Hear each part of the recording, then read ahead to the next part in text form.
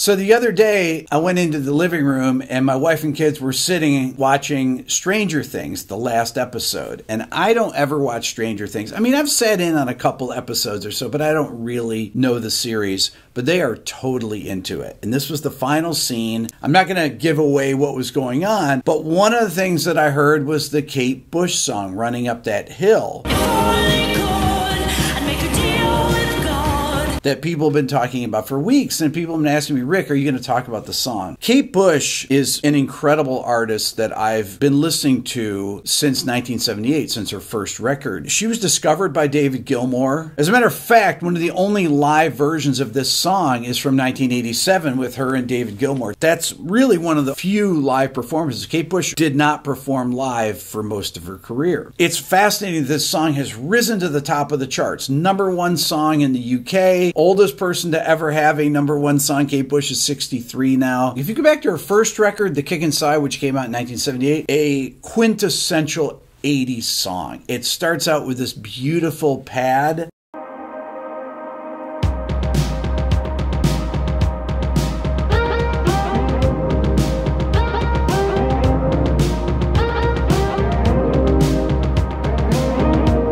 the first thing that grabs you in the intro is just that beautiful pad, just the note C and E flat, so lush and airy, and sets up the whole mood for the song. And then the drums come in. Really busy, actually. The chord progression that's going on here is A flat major, then B flat sus 4 sus 2 to C minor. The song is in C minor. Then you have the synth melody that comes in over these same three chords.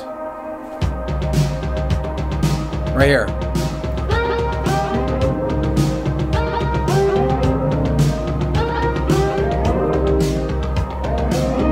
Over the chord progression, it goes to the third of the A flat chord, then the sus2 of the B flat chord, and then to the flat 7 to the root of the C minor chord. This descending minor seventh interval jump from B flat to C happens either with B flat G C or just B flat C. But that is really a main hook in the song is this really large, kind of unusual interval jump to have in a song. There it is. Before the vocals come in on that second chord, the B flat chord, there's something specific about that that gives the song its vibe. So on the first chord, the A flat chord is just A flat major, but the second chord that C and E flat hold, and it becomes a B flat with a sus2 and sus4. In a second, you'll see why this chord is so important in the chorus. This video is brought to you in part by my upcoming live shows in Seattle and Los Angeles. Click the link in the description to be part of a live What Makes This Song Great and ask me anything from the audience. Next, Kate enters with the first verse.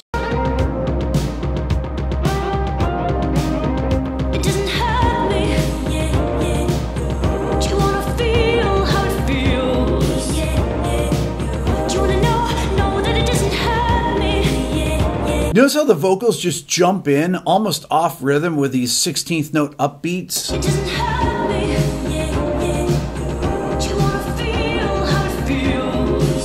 All those big intervals.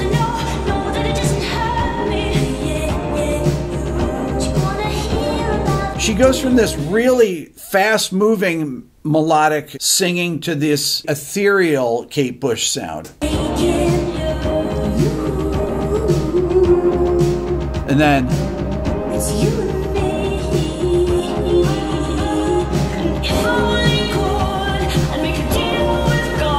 The chorus just jumps out right there, just kind of out of nowhere. You're coming from this verse, which is very rhythmic with a lot of offbeat accents, into this chorus that suddenly hits. The song is about a man and woman switching positions so they get each other's perspective. And they've made a deal with God to do this instead of making a deal with the devil. It's so clever. And if I only could, I'd make a deal with God and get him to swap our places. Be running up that road, be running up that hill with no problems. Just beautiful imagery.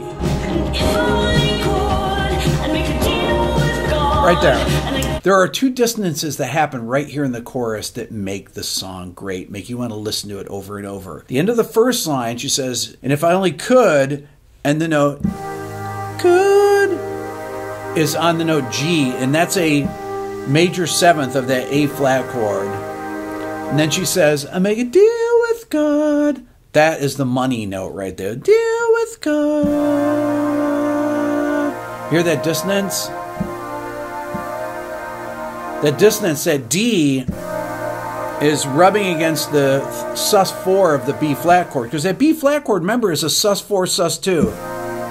Uh, when she sings that note, it gives you a sense of longing. And this is really what makes that chorus sound so beautiful.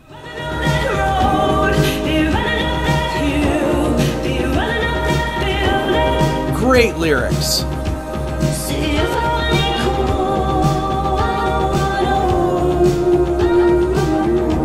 Beautiful.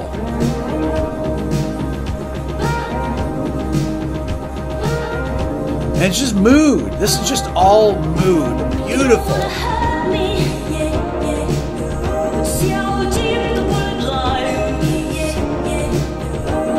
All those answered vocals. That's a great line. Oh.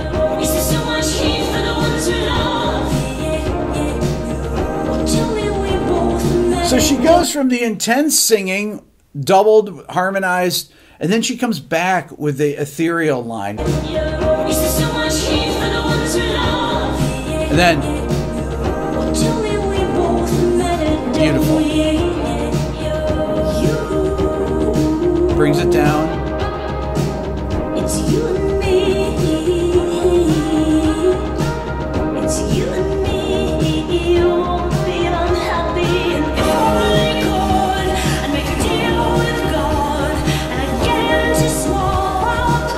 I mean, it's really jarring. The lyrics are incredibly good. The concept of the song, the way that it works with the visuals of Stranger Things, it just works with the scenes that it's in. I wish I could show you some of them.